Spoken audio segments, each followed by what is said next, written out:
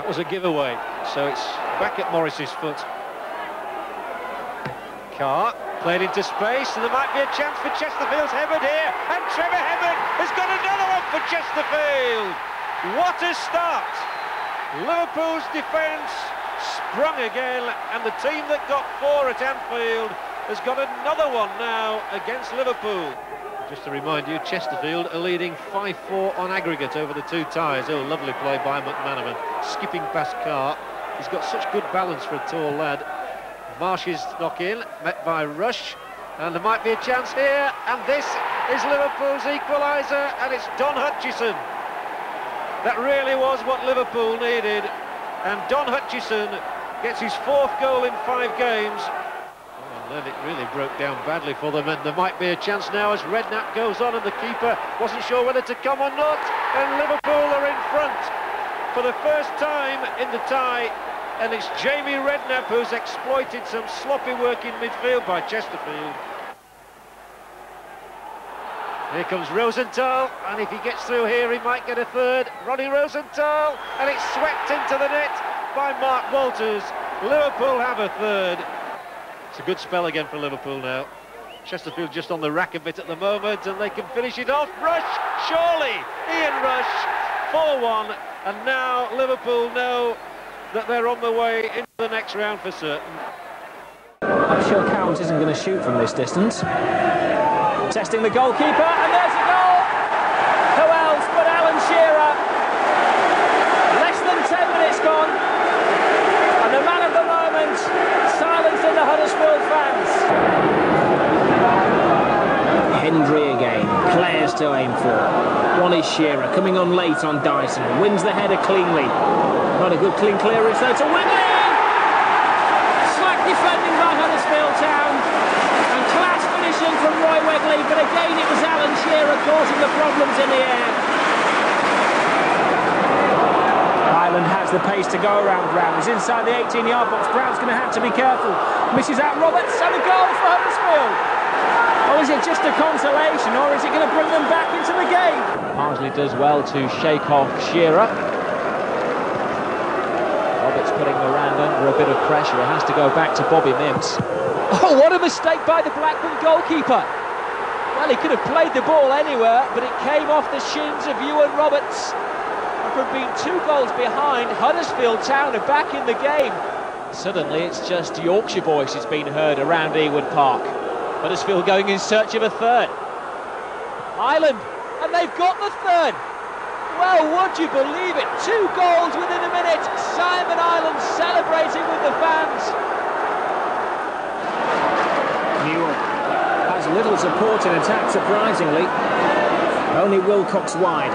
Cross in, Shearer! Well, he's only done two things all night, but he's certainly rescued Blackburn Rovers. Shearer. The adrenaline's pumping. This is it, possibly the last chance for Newell, and he scores! Well, Shearer at the heart of it again. And his striking partner, Mike Newell, has got Kenny Dalglish and his team out of a very, very sticky situation indeed. John Wark now. Beautiful ball over the top for Kiwomya. Kiwomya slides it across. Oh, and it's there! Johnson, Gavin Johnson. Kiwomya, the most uh, forward Ipswich player at the moment. A chance for Kiwomya. Oh, and he needed no invitations for that. Thompson's cross. This is Williams. Leaves it to Stockwell. Goddard. Oh, what a good ball to Dozzell. Chance for Kiwomya. And he scored!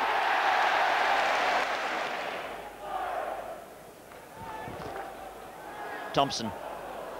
Got Johnson to his left. There's the ball across, and it's gone over to John Wark. That's a good ball in by Wark, and there it is! Chris Kiwomya's hat-trick.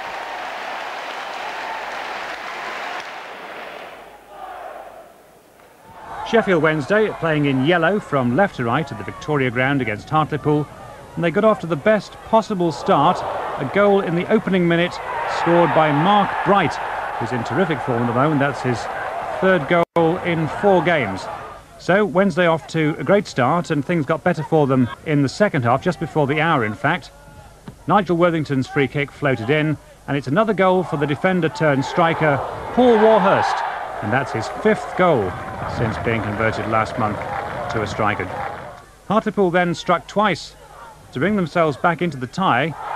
Now that in the opinion of referee Paul Harrison wasn't a foul by Carlton Palmer though the fans roared for a penalty. But now, was that a push by Carlton Palmer on Brian Honour? The referee said it was. Now watch Palmer's reaction. Now whatever he thought of the decision, an experienced England player ought to know better than that. And Palmer perhaps a little fortunate here not to suffer serious retribution from the referee. However, the result of it all was a penalty kick and a familiar face here to fans of Hull and Barnsley. It's Andy Saville taking the penalty and taking it very coolly as well for Hartlepool bringing them a measure of respect in the tie. And in the final minutes, Hartlepool struck once again. Again, Saville involved in the area, and the ball forced home by Lenny Johnrose, the former Blackburn player, to make the final score at the Victoria Ground. 2-2 on the night, 5-2 in the aggregate deficit. Wednesday, of course, won 3-0 in the first game. Uh, Bolton grabbed one or two brownie points by winning at Wimbledon. Unfortunately, Tony Philliskirk's goal wasn't enough not a lot's uh, gone Bolton's way in recent weeks, and that could herald a change of fortune. Here's the corner now. Quinn again, the marking was slack, and it's an own goal. Quinn turned it back across, and it ricocheted into the net to give Manchester City the lead. Off Maddison, and that's a disastrous own goal. Hardyman's corner now. A packed and congested area, particularly around the six-yard box. Taylor's making circling runs. Didn't get to him. And the flick and a goal! Taylor's turned it in. Kurt furious. Mr. Rovers are level.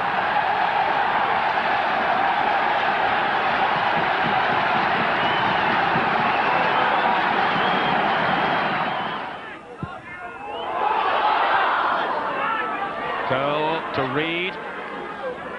Now, has he found White here? He has. Simpson. Quinn just staying on side. Again, that's intelligent distribution by Simpson. Holden. Can he finish it now? Yes! Holden with a second goal for Manchester City. And that surely now has secured their place in the next round. Some very, very disconsolate Bristol Rovers figures out there. Dejection for them, elation for Tony Coton and Manchester City. Rick Holden, who scored his first goal in City's colours on Saturday, has done it again here, deceiving Parkin, and it flies in off the post. Kevin Campbell took matters into his own hands in scoring a brilliant solo goal at the Den.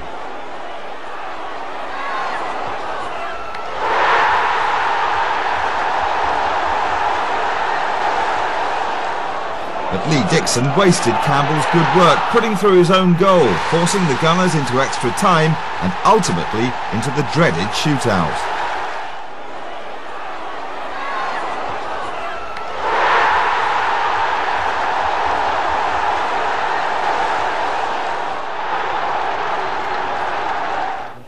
Backpedaling, Kelly now, falling well for Kelly, Superbly finished by David Kelly, and it's Newcastle who take the lead.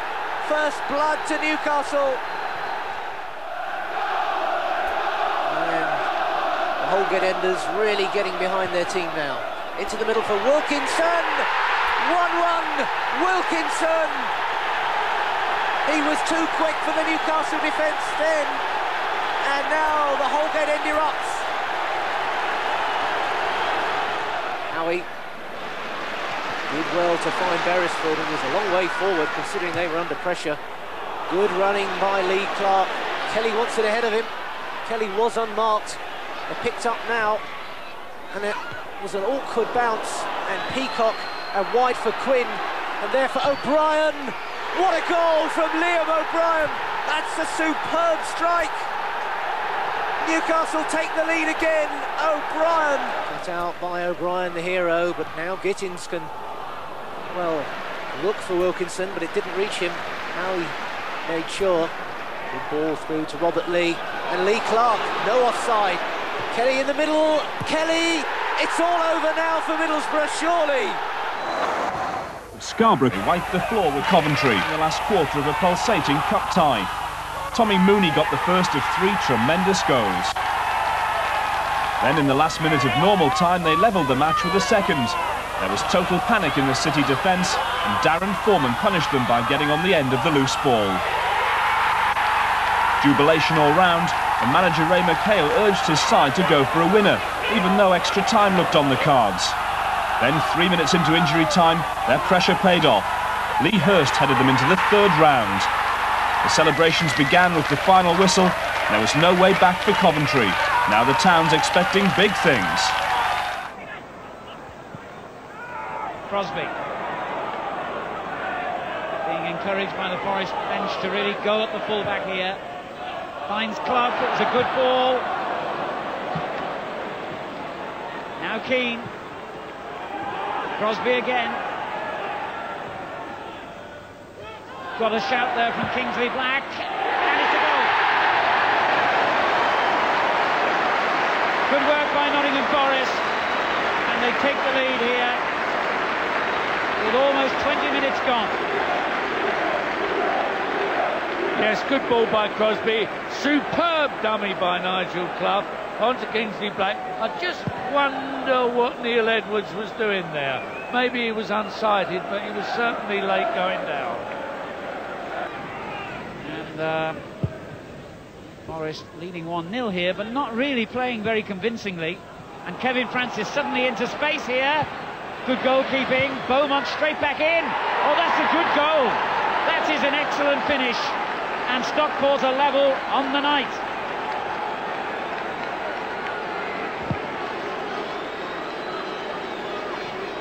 Got themselves in a real mess there, Nottingham Forest. They did indeed, actually. It was a very good ball played through to our Kev, who really made a pig's ear of it, as he's been doing most of the night. But Beaumont following up has knocked a really good goal in. And it's now made it a very interesting evening.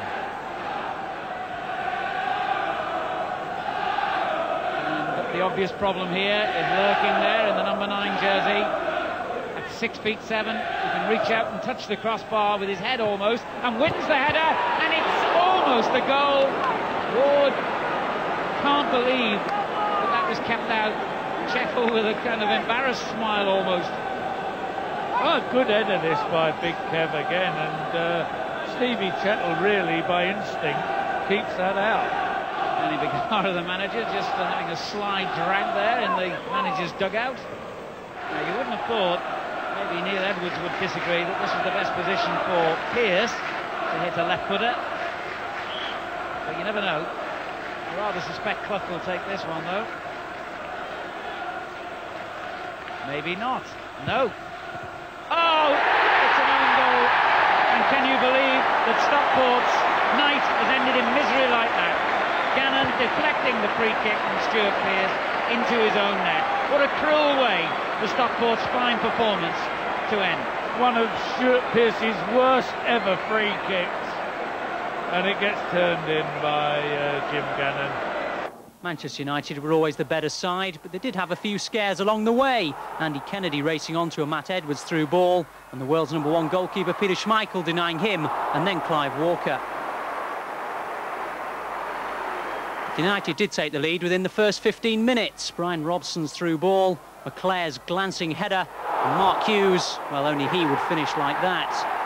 McClair's looping header, and Hughes reacting the quickest and the most acrobatically too. Will slow play down for a second or two. He finds Beagrie on the far side. Beagrie really does spring high for a little winger.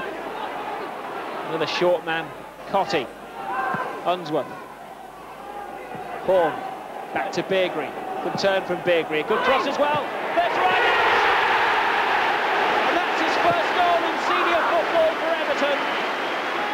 Beagrie's corner. Mercer stays on his line. Long clearance. Only Hazel up there though. Right out onside. It's beaten the offside trap. That could be a penalty. But Cottee scores. Now, what is the referee going to give here? Well, he has to send Mercer off if he's given a penalty in that situation. A bizarre situation, really. He should have allowed the goal. He blew his whistle possibly too early. Referee. And Mercer goes off. Well, a sad evening.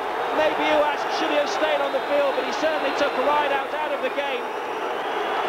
It's going to be Nicky Law who's going to go in goal, the centre half. He's certainly got the height. Tony Cottee is going to be the first man to test the standing keeper from the penalty spot. Well, for the next 15 minutes or so, the standing keeper's going to have a backing. His first job is going to face a penalty from Cottee. Now, Cottee scored from free play, and Cottee the penalty. Well, that, you have to say, is justice. Drops for Warzycha. A lack of concentration from the Polo. Kenny helps him out.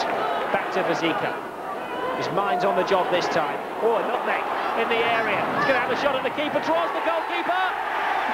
And that's a second goal for Paul Rideout. Beagrie inside. He likes to shoot from here. He tries to shot. Oh, what a save! Well, that's going to go in the family album of the goalkeeper. I don't think Billy Mercer could have done better than that before he got sent off. A good, strong, dipping shot from Peter Beagrie. And just underneath the crossbar, a competent save from Nicky Law. Oh, really battling so hard and giving Norwich a few problems. In goes Sutton. Sutton suddenly scores out of the blue, literally, and it looked as if O'Hanlon should have stopped that one. But that was a powerful header by the young defender, if you like, brought forward especially for this game, and at last it's the breakthrough. Newman. Newman in again. Robbins nicely down to Crook, waiting for the support from Culverhouse. What about this cross? Sutton! Great play from Norwich City. Chris Sutton again. And that's the end of Carlisle United.